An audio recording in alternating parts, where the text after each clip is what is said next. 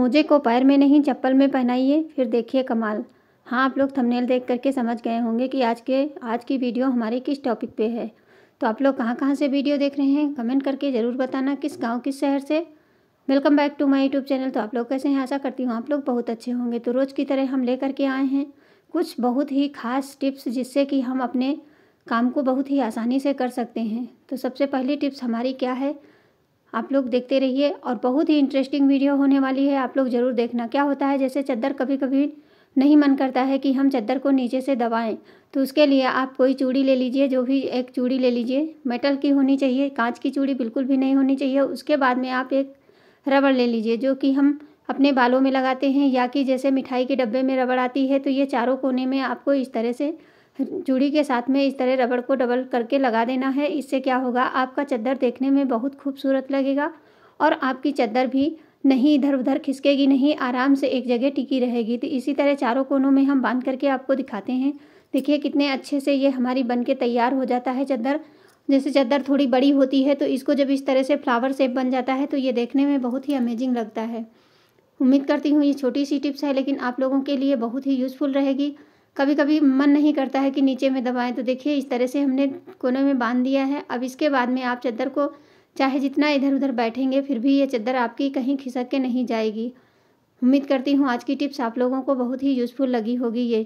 तो चलिए अगली टिप्स हमारी देखिए, चारों कोनों में मैंने बाँध दिया है। अब चलिए अगली टिप्स हमारी है चम्मच को लेकर के कि चम्मच जब हम नए लेकर के आते हैं तो ये बहुत ही शाइनिंग करते हैं, उसके बाद धीरे धीरे इसकी जो शाइनिंग होती है, कम होती चली जाती है तो उसके लिए हम क्या करेंगे? गैस चलाएँ और उस पर रख दीजिए, कोई भी फ्राईदान रख दीजिए या भगोना, कोई भी बर्तन हो, उसमें एक गिलास पानी डाल करके इसको चढ़ा दीजिए। उसके बाद में जो हमारे घर में कोलगेट के रैपर होते हैं, जो खाली हो जाते हैं, उसके बाद में हम इसको फेंक देते हैं। इसको हम फेंकने के बजाय इस तरह से कट करके इसमें हम डाल देंगे और डालने के बाद में जब पानी में बॉयल आएगा तो इसमें जितना होता है, सब कोलगेट निकल जाएगा। कोलगेट जो होता है, हमारे स्टील के बर्तन को बहुत चमक लाती है और ये जो हमारा फॉलिन पेपर होता है, इसको हम छोटे छोटे टुकड़े करके डाल देंगे, इस तरह से दबा करके और उसके बाद में सारे चम्मच इसमें डाल करके एक बॉयल लगा देंगे। और फिर इसमें डाल देंगे हम थोड़ा सा नमक, जो हम नमक डेली यूज़ करते हैं, उसी नमक को डाल करके। और देखिए, ये चम्मच हमारा बहुत गंदा है, फिर आपको दिखाते हैं कि सारे चम्मच में कितनी अच्छे से शाइनिंग आ जाएगी। उसके बाद आप गैस को बंद कर देंगे।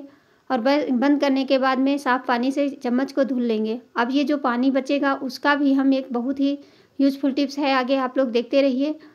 अगर अच्छी लगे तो लाइक करना और अपनों के साथ में शेयर ज़रूर करना ताकि सभी कोई इस ठंड में इस तरह की टिप्स अपना करके अपने समय और पैसे दोनों की बचत कर सके। तो देखिए कितने अच्छे से हमारे चम्मच शाइनिंग करने लगे हैं। अब चलिए इनको धुल के दिखाते हैं। देखिए कितने अच्छे चमक गए हैं, बिल्कुल नए जैसे हो गए हमारे चम्मच। तो कोई भी स्टील का बर्तन हो, आप इस तरह से नया कर सकते हैं। जैसे कि अब ये बचा हुआ जो गर्म पानी है, इसको ठंडा नहीं होने देना, इसी तरह अपनी सिंक में डाल देंगे।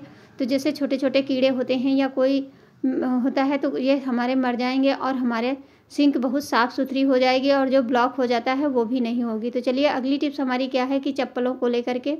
जैसे क्या होता है, जिसके घर में छोटे बच्चे होते हैं, वो स्लीपर नहीं पहनते हैं। और ठंड इतनी ज़्यादा होती है कि बच्चों को स्लीपर पहनाना बहुत ज़रूरी होता है, क्योंकि फर्श इतनी ठरती है और बच्चों को जो है बहुत दिक्कत होती है, सर्दी हो जाती है तो फिर बहुत समस्या आती है। तो इस तरह से चप्पल को पहनाने के बाद में आप सॉक्स को पहनाएँगे तो आपका छोटा बच्चा हो या थोड़ा सा बड़ा होगा, जैसे चलने लगते हैं तो बच्चे तुरंत निकाल के फेंक देते हैं और इस तरह से पहना देंगे तो इतनी जल्दी ये निकालेंगे नहीं और आप कहीं भी घूमेंगे तो आप बच्चों के पैरों में ठंडी भी नहीं लगेगी। तो इसी तरह हम दोनों में पहना देते हैं, उसके बाद में आप इसको छोटे बच्चे हों तो ज़रूर पहनाइए, क्योंकि इस तरह से बच्चों को ठंड, सर्दी नहीं लगेगी और चप्पल भी नहीं निकलेगा। और आराम से बच्चे इसको पहन सकेंगे और इससे बहुत आराम मिलता है। चलने में भी बच्चे कभी भी इसको निकाल के नहीं फेंकेंगे। उम्मीद करती हूँ ये भी टिप्स आप लोगों के लिए बहुत ही यूज़फुल रहेगी। अगर छोटा बच्चा है तो उसके लिए तो ये बहुत ही अच्छी है। तो चलिए, अगली क्या होती है टिप्स? हमारी क्या है? जैसे कि हम ये पत्ता गोभी लेकर के आते हैं, जो ऊपर के पत्ते होते हैं, इनको हम निकालते हैं और इसको हम कूड़ा समझ के फेंक देते हैं तो इसको फेंके नहीं और इसको आराम से निकाल लीजिए। तो देखिए, ऊपर वाला पार्ट ज़रूर निकालते हैं, इसको हम डाल, सब्ज़ी में तो डालते ही नहीं हैं, ये बेस्ट होता है। लेकिन इसको हम आज ऐसी टिप्स लेकर के आए हैं, जिससे कि आपके बहुत सारे पैसे बचेंगे और आपका बहुत काम जो है, वो बहुत आसानी से हो जाएगा और आपके एक भी पैसा इसमें नहीं लगेगा। तो इस तरह से देखिए, मैंने इसमें से पत्ते निकाल लिए हैं, आराम से निकाल लेना है, ताकि ये टूटे नहीं। तो इस तरह से निकालने के बाद इसको अच्छे से धुल लीजिए। धुलने के बाद में सारा पानी इसका सुखा लेना है। तो देखिए, ये सूख गए हैं पत्ते हमारे। अब चलिए, आगे इसमें हम थोड़ा सा ले लेंगे। कोई भी जो ऑयल होता है, तेल है, उसको ले लेंगे।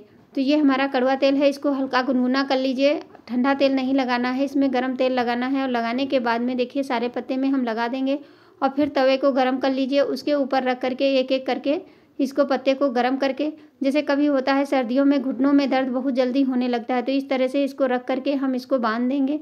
रात में बाँध करके छोड़ देंगे तो देखेंगे कि हमारे घुटने का दर्द जो है वो बिल्कुल बंद हो जाएगा। उसके बाद में आप चाहें तो एक सॉक्स को काट लीजिए, जो बेकार हो, उसको ऊपर से पहना दीजिए, नहीं तो कोई सूती कपड़ा ले लीजिए और इस तरह से इस पर लपेट करके और इस पर एक एक सिफ्टी पिन लगा देंगे ताकि ये निकले नहीं।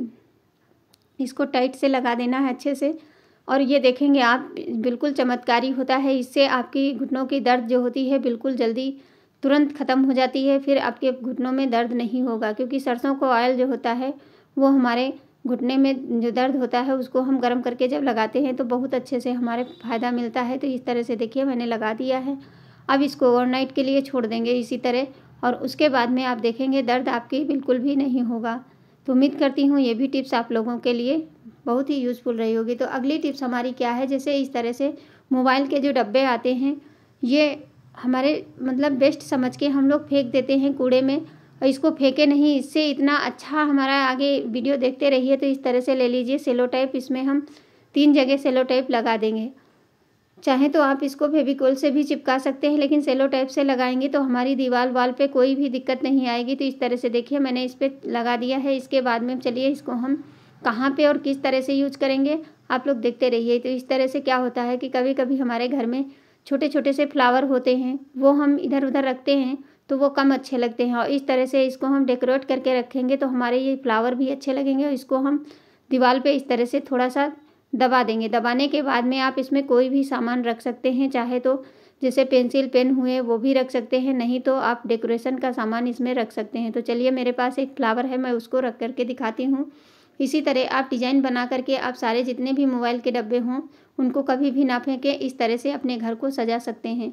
तो देखिए, कितना अच्छे से ये रख गया है। अब इसी के ऊपर हम दूसरा डब्बा लगा देंगे और उसके ऊपर हम कोई और फ्लावर लगा देंगे। तो इस तरह से देखिए, इसको हम इस तरह से लगा देंगे। ये देखने में भी काफ़ी खूबसूरत लगता है और अच्छा भी लगता है। तो इस तरह से देखिए, मेरे बच्चे ने ट्री का सेप बनाया था तो उसको मैंने लगाया है। इसी तरह आप अपने वॉल को अच्छे से सजा सकते हैं और बिना पैसे के, बिना खर्चे के। तो उम्मीद करती हूँ ये भी टिप्स आप लोगों के लिए बहुत ही यूज़फुल रही होगी। आज की टिप्स हमारी यहीं पे एंड करते हैं। तो इसमें से कौन सी टिप्स आप लोगों को लिए, को सबसे ज़्यादा पसंद आई है? अगर पसंद आई हो तो मुझे कमेंट करना बिल्कुल भी ना भूलें और मेरे चैनल को सब्सक्राइब ज़रूर कर लेना। मैं इसी तरह की नई नई टिप्स लाती रहती हूँ और आप लोगों को का समय और पैसा दोनों की बचत करने की आइडियाज़ देती रहती हूँ। उम्मीद करती हूँ आज की हमारी ये टिप्स आप लोगों के लिए बहुत ही यूज़फुल रही होगी। अगर अच्छी लगे तो अपनों के साथ शेयर करना धन्यवाद।